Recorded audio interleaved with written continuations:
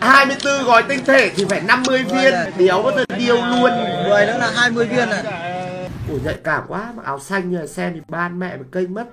Nhìn đã thấy là ban kênh rồi. Ôi Đây rồi đây rồi. Alo alo alo. Đầu tiên xin chào các bạn. Trời ơi Hôm trước đang phê dở Thế là tự nhiên Ừ Sao đấy phê dở? Cái gì đi ban kênh người ta kể kể các bạn cay vậy rồi Thế là xong cái nào? Tôi bị ban kênh Mà nói thật cả các bạn. Hôm ấy bị ban kênh nặng vãi lìn thì nó không giống như là những cái ban kênh bình thường các bạn hiểu không? Bình thường nếu như bạn tôm là bị ban ấy thì kiểu nó sẽ ờ uh, nó bị ban nhưng mà nếu như mà các bạn có ý định bật OBS lên để muốn start livestream chẳng hạn thì sẽ hiện lên một cái thông báo nó là kiểu Nemo à, kiểu bạn đã bị ban à, kiểu à, ờ, à, 8 tiếng hay là ờ, uh, 24 giờ hay là như thế nào đấy vì một cái uh, lỗi gì đó. Thế nhưng mà hôm đấy tôi bị ban phát bạn biết văng con mẹ cả tài khoản ra ngoài luôn.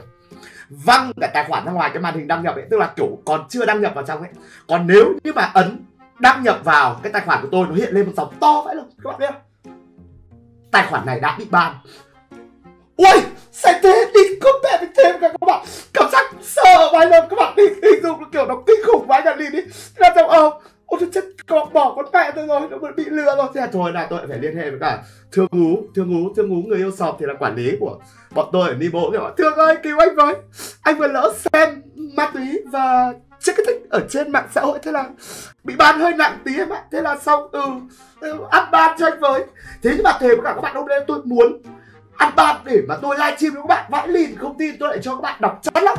Không, các bạn lại bảo là tôi lại không vì anh em. Để mà hôm sau đúng không? Tôi bảo tôi livestream anh em nhưng vẫn bị ban nếu được thả.